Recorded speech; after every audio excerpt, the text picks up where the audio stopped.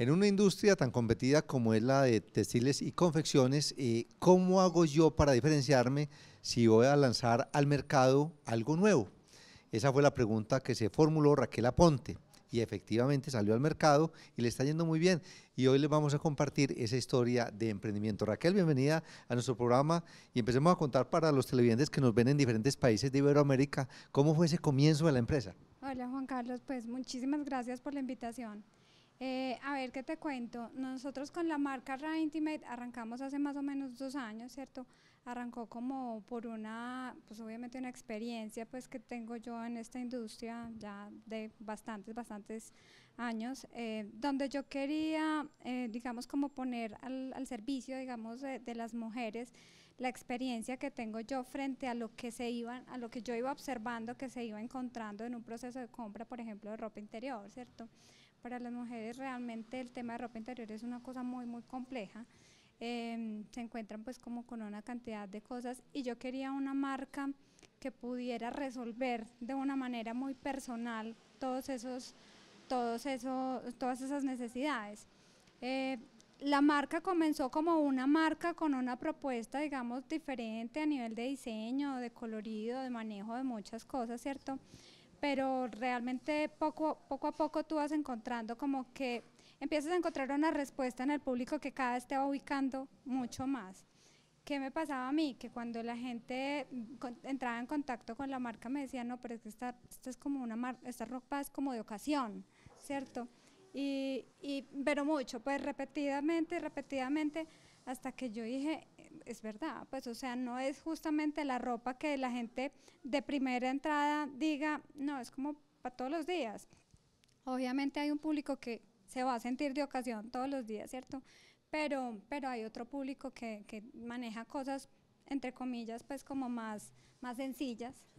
Eh, entonces empezamos como a pensar mucho en eso. Y yo dije, bueno, ¿cuándo es la ocasión, ¿cierto? ¿Cuál es el momento de la ocasión? Y empezamos a pensar en, en un momento donde las mujeres hicieran como un clic, ¿cierto? Y en donde dejo de alguna manera usar un lenguaje en mi ropa interior porque también estoy sola, porque estoy en una soltería diferente, porque, ¿cierto? Y, y, pensamos es en la boda, o sea, para la boda las mujeres literal se visten de gala, ¿cierto? Y empezamos a pensar no solamente en eso, sino en que la boda no se quedaba en el momento pues como del ritual, podríamos decirlo, ¿cierto?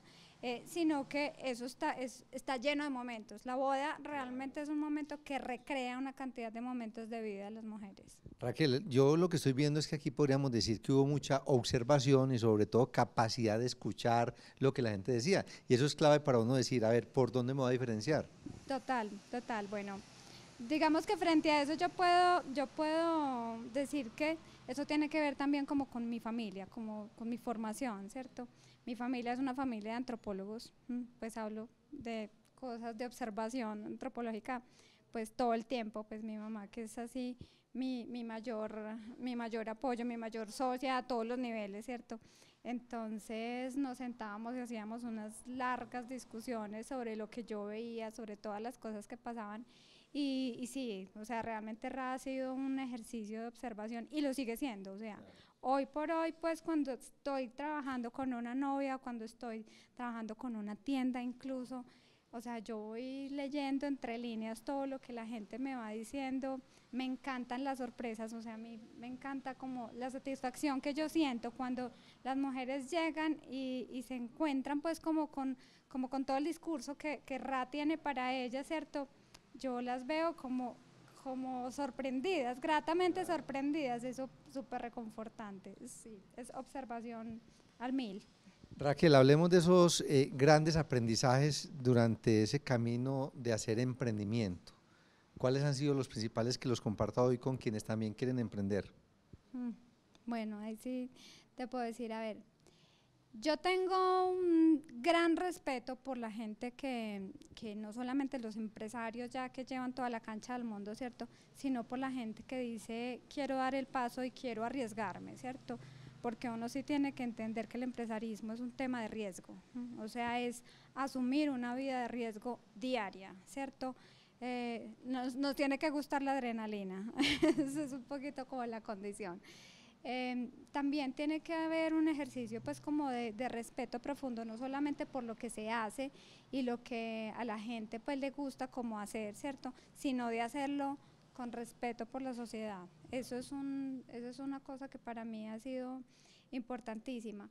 En ese ejercicio uno tiene que pensar que el empresarismo no es un proceso para acumular riqueza solamente, o sea, seguramente si lo hace. Riqueza sí, pero riqueza social. Exactamente, o sea, eh, obviamente si tú emprendes y lo haces bien y lo haces con toda la constancia que se necesita, en algún momento podrá llegar la, llegar la riqueza, ¿cierto? Pero ese no puede ser el primer objetivo de un emprendedor. O sea, realmente un, el primer objetivo tiene que ser aprender y ayudar a construir mundo. Eso es como, como de, los, de los valores que pienso yo. No es un proceso fácil por ejemplo, en mi sector en particular, ¿cierto? Mucha gente cuando dice, ay, yo quiero marca, lo único, o sea, lo que visualizan inmediatamente están en pasarelas, ¿cierto? Y, y esto es un proceso mucho más largo, para llegar a la pasarela hay que trabajar mucho, hay que darse muchos golpecitos antes, ¿cierto? Eh, pero tienen que ser golpecitos que sean estimulantes, realmente, eso es, eso es, lo que yo pienso. O sea, uno sí, a veces se va para la casa y uno dice, ya no quiero más, pero, pero pues al otro día pasa algo muy bonito con la empresa. Y, Por ejemplo, una gran satisfacción que usted recuerde, que diga, uy, ese día jamás se me olvidará porque me fue muy bien. Un pedido grande. Em, mira que yo tengo como una, una diferencia en ese, en ese sentido con, con, mi marca. De pronto me salgo un poquito de la respuesta, pero, pero, pero aplica. Em, a mí, por ejemplo, mucha gente me dice, Raquel, ¿y por qué no exportar ya? ¿Cierto? Realmente yo llevo una carrera en este mundo larga, ¿cierto? Podría decir que, que estoy bastante preparada para exportar, ¿cierto? De hecho, lo he hecho en el pasado pero yo en todo este proceso de análisis de mi negocio y de lo que yo deseaba, ¿cierto? Y que mi deseo profundo no es volverme multimillonaria ni nada de esas cosas, sino que yo quiero es empezar a darme gusto día a día con el trabajo de la marca. Si eso llega a pasar, pues se volverá una consecuencia. Pero yo quiero hacer los, los pasitos, quiero darlos bien, ¿cierto? Entonces, satisfacción para mí ver salir una mujer de aquí feliz, ¿cierto? Encontrándose una opción de, de, de, lencería que, que, llena una cantidad de cosas, porque valga decir, ¿cierto? Que Ra tiene, digamos, como entre sus ingredientes principales es que nosotros aquí literal personalizamos la lencería.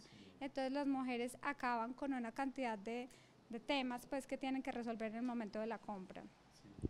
Bueno, vamos a, decir cómo ha sido la labor de difusión de la marca, porque usted nos ha dicho, yo me he movido en ese sector eh, durante varios años, pero igual cuando salgo con algo nuevo digo, bueno, el mercado lo tiene que conocer. ¿Cómo lo ha hecho? ¿Cuál ha sido esa labor como de, difusión, de mercadeo?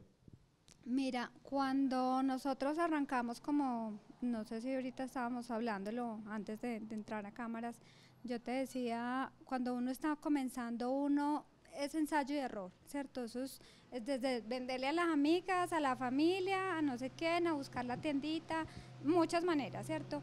Y, realmente uno mismo no conoce mucho su propuesta. Así uno sea el, el gestor de la, de, la, de la propuesta uno mismo, puede que no la conozca mucho. Eh, entonces nosotros arrancamos como una marca normal, haciendo todos esos pinitos. Ahora, cuando ya dijimos, es el momento, es, es para novias, es para este otro momento de las mujeres, ¿cierto? Y de ahí en adelante, porque la idea no es quedarnos pues como en que la novia compra y nunca más vuelve a aparecer, sino que ya se vuelve una clienta de la casa. Eh, a partir de ese momento lo hacemos es con alianzas a través de toda la gente que les llega a las novias. En este caso, digamos, ahorita estamos trabajando pues como con boutiques que les venden los vestidos, tenemos alianzas muy chéveres, ¿no? hacemos eventos en, en, conjunto, esa es como la manera. Y bueno, a través de redes sociales también estamos pues como queriendo hacer un trabajo en eso y bueno, y el voz a voz pues como que es el mejor transporte de publicidad, creo yo. Bueno, Raquel, de verdad que muchísimas gracias por compartir. ¿Algún mensaje final para los emprendedores que nos ven en diferentes partes del mundo? Eh, sí, el, mensaje es que ya realmente en, el mundo hay, hay muchas empresas, sí, hay muchas empresas. Eh, pero tenemos campo los que queremos proponer cosas nuevas. Es un pasito, es un riesgo, pero realmente es alentador hacerlo todos los días. Muy bien, este es Negocios para aprender y disfrutar del mundo empresarial.